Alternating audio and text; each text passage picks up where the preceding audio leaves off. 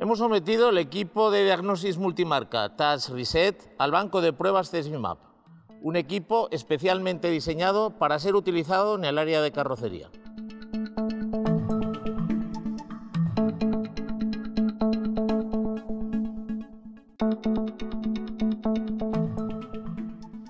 El equipo se conecta al vehículo mediante el módulo Wi-Fi al OBD, reconoce las características del modelo y permite identificar los problemas que presentan determinados elementos de la carrocería tras un accidente sin necesidad de desmontarlos.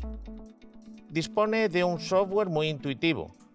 A través de sencillos menús es posible diagnosticar averías de un vehículo en un tiempo mínimo. Mediante los accionadores del programa podremos probar el correcto funcionamiento de elementos de carrocería como el elevalunas, los faros, retrovisores, limpia parabrisas o cierre centralizado.